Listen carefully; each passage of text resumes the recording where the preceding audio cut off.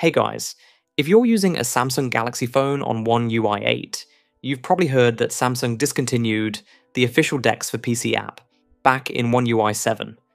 Samsung now recommends using Microsoft's link to Windows instead. But let's be real, it doesn't give you that full desktop experience with resizable windows and proper multitasking. But here's the good news this workaround launches Samsung DeX directly and shows the full desktop interface in a window on your Windows PC. In this video, I'll show you exactly how I did it. It's easy, safe, and completely reversible. Let's get into it. And please subscribe if you love Samsung hacks. Now, the star of the show is an open source tool called SCRCPY. It's completely free, no ads, no bloatware, and it's what makes this whole thing possible. I'll drop the official download link in the description, just go ahead and download it on your PC. First, we need to unlock your phone's hidden developer menu. Don't worry, it's safe and reversible. So, open Settings, then scroll down and tap on About Phone.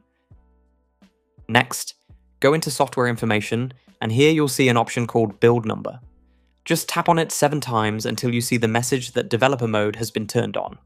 Once done, go back to Settings and you will see Developer Options. Just open it. Inside Developer Options, scroll down, find USB debugging, and turn it on. This allows your phone to securely connect to your PC for screen mirroring. While we're here, to get the best DeX experience with resizable and freeform windows, scroll further and enable these three options under Windows Management. These make apps behave perfectly in DeX mode, just like on a real desktop. Now it's time to connect your Galaxy phone to your Windows PC using a good USB cable. Let me plug mine in.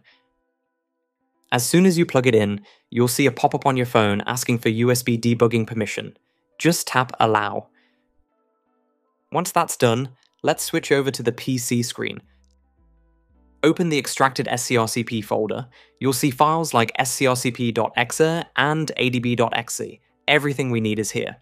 To open command prompt right inside this folder, click on the address bar at the top, type cmd, and hit enter. This opens the terminal directly here. Now, paste this command from the description and hit enter. You can adjust the resolution, 1920 by 1080 is full HD, and slash 284 is the DPI for nice sharp text. Try slash 290 or higher if things look too small. Watch this a new window will pop up on your PC. And boom, there's the full Samsung DeX desktop interface. Your phone screen might go black or show a DeX loading message. That's completely normal, because DeX is now running on the virtual display we created. You can fully control it with your PC's mouse and keyboard. Open apps, multitask, resize windows, it's the real DeX experience we all missed.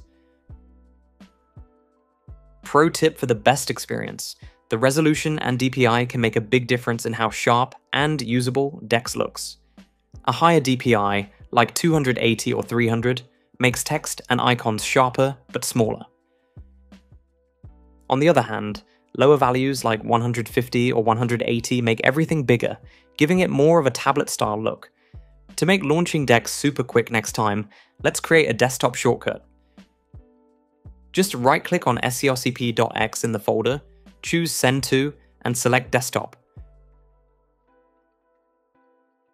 Once the shortcut is created on your desktop, right click on it and open Properties.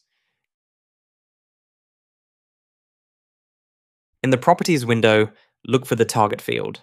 Make sure the full path to scrcpy.exe is inside double quotes, and after the closing quote, add your preferred DeX arguments.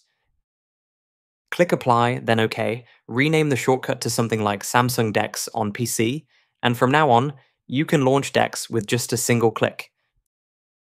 And that's it. You now have the full Samsung DeX desktop experience running on your Windows PC, even though the official DeX app is gone. If this video helped you, don't forget to like it, share it with other Samsung users, and subscribe for more Android and Samsung power user tips. Thanks for watching, and I'll see you in the next one.